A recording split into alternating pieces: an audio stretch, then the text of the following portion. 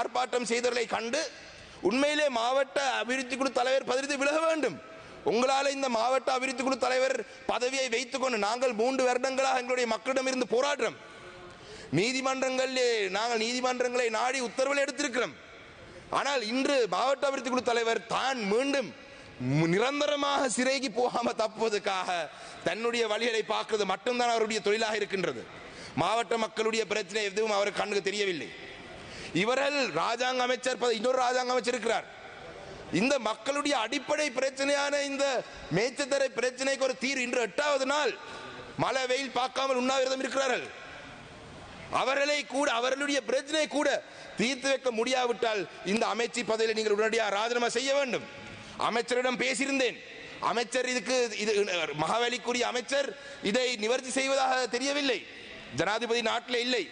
ஜனாதிபதி வந்ததுடன் நிச்சயமாக இது சம்பந்தமாக நான் இதை தொடர்பாக ஜனாதிபதியுடன் பேசுவதற்கு இருக்கின்றேன்.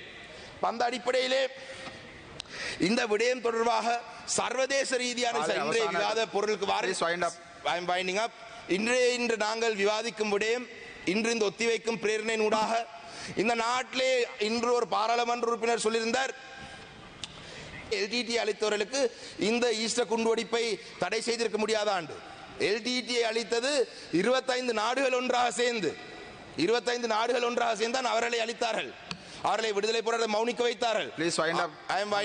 ஆனால் இன்று நாங்கள் இன்று ஒரு சர்வதேச ரீதியான ஒரு விசாரணை இன்று இந்த நாட்டிலே நடந்த இந்த நாட்டிலே நடந்த தமிழ் மக்கள் லட்சக்கணக்கான தமிழ் மக்கள் கொல்லப்பட்டதுக்கு சர்வதேச விசாரணை வேண்டாம் என்று சொன்னவர்கள் இன்றாவது கண்ணை திறந்து சொல்றார்கள் இந்த ஈஸ்ட் குண்டுடிப்பு தொடர்பாக ஒரு சர்வதேச விசாரணை வேணும் என்று அதைத்தான் நாங்கள் இத்தனை வருடங்களாக சொல்றோம்.